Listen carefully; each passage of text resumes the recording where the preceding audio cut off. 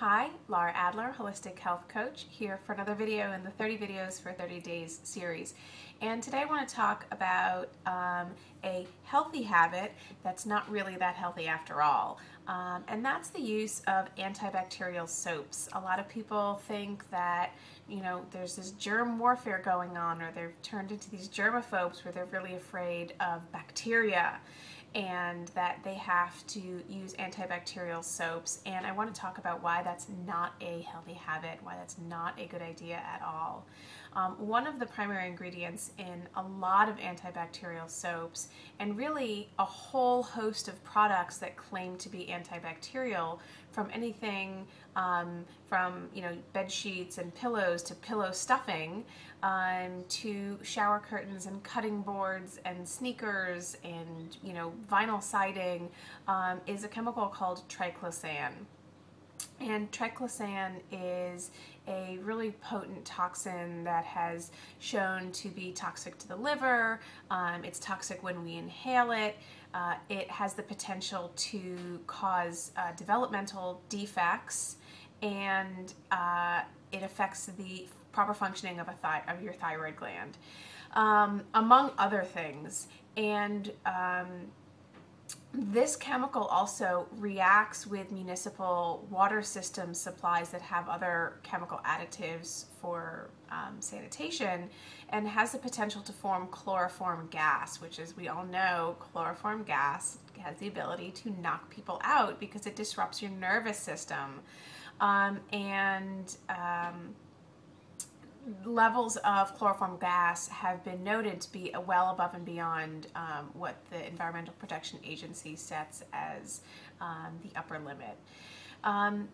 The amazing thing is that triclosan has never been proven to be more effective than regular soap and water.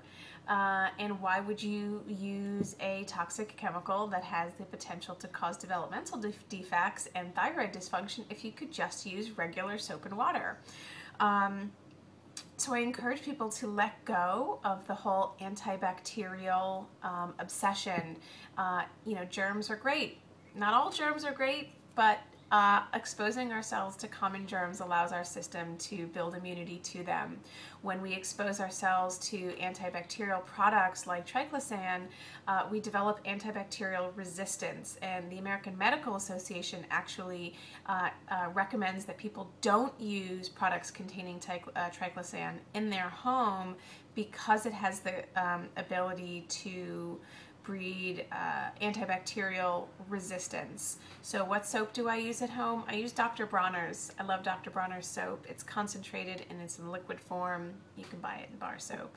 Um, it's fair trade, it's non-toxic, uh, it doesn't affect wastewater uh, systems and aquatic life when it washes downstream, which triclosan does.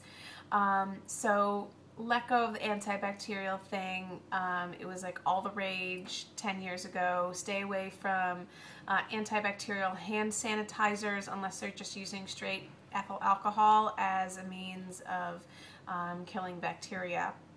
There are also some natural ones that use things um, like I think they're uh, thyme oil um, and, and other essential oils that are, are naturally antibacterial and antimicrobial. So that's it. If you have questions, if you have thoughts, um, or want to know about other toxins lurking in your home, uh, drop me a line. Go to my website at www.laraadler.com or make a comment in this, uh, in this video post and I will make a video for you. Thanks. Have a great day. Talk to you soon. Bye.